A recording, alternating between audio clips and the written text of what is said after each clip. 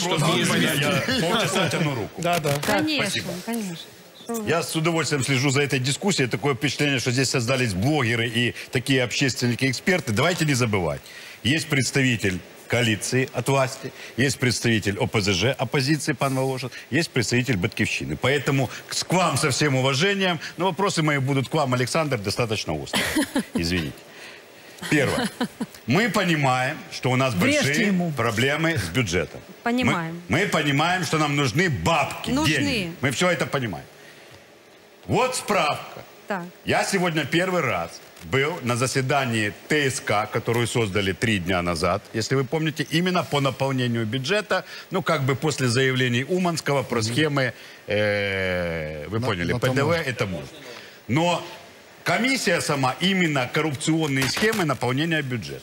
Здесь на четырех страницах, на пяти, я и группа экспертов, аудиторов, финансистов изложила абсолютно конкретные факты на основании открытых данных, которые касаются НАК нефтегаза, где за 4 года последних недополучил бюджет по дивидендам 40 72 миллиарда гривен, в том числе за 2019 год 23 миллиарда гривен. Я предложил членам ТСК, в которой большинство составляет новые мордашки, извините, из слуг народа, просто дать мне возможность выступить и защитить эту позицию. Я, Кучеренко Алексей, беру на себя ответственность. Если эти факты не подтверждаются, я готов написать заявление и сложить с себя мандат. Теперь у меня к вам три вопроса. Первое.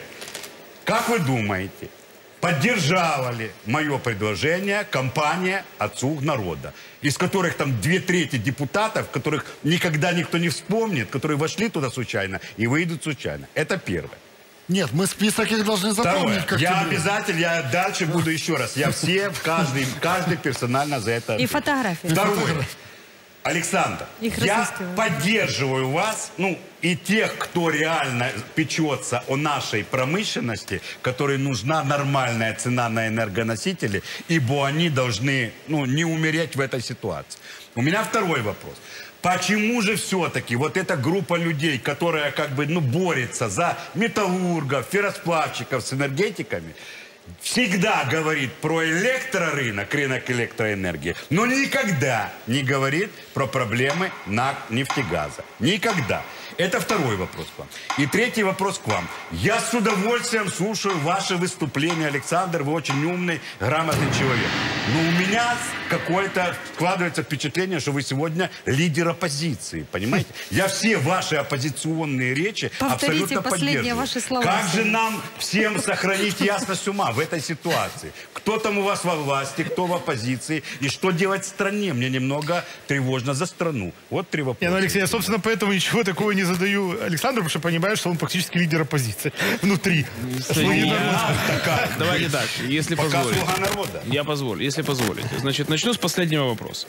А, мы когда шли на выборы, я же шел как мажоритарный депутат, да, От «Слуги народа». под программу партии «Слуга народа», программу президента.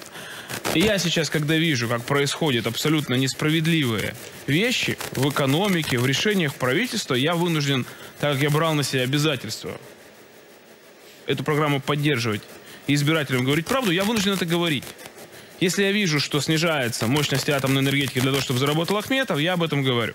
Если я вижу, что цены на газ на мировом европейском хабе снижаются, а в Украине не снижаются, населению втюхивают его на тысячу гривен дешевле, дороже, вернее, на тысячи кубов, чем продается сейчас в Европе газ и может продаваться в Украине. Я об этом говорю.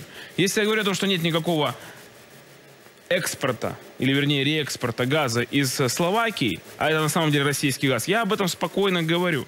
Потому что я считаю, что если мы собираемся сохранить власть, и самое главное сейчас уже, мне кажется, сохранить будет здоровье, потому что если люди начнут выходить на улицу, это станет гораздо более серьезной проблемой, чем депутатский мандат и желание его сложить или не сложить. Надо говорить людям правду. Если, это, к сожалению, вы сами это вы называете словом мордашки, 30 секунд. не очень приятно, но Ну, я, не я хочу с еще- вами я не спорить. Смотрите, я не хочу с вами спорить. Новые Знаете почему? лица, назовем Знаете так. почему?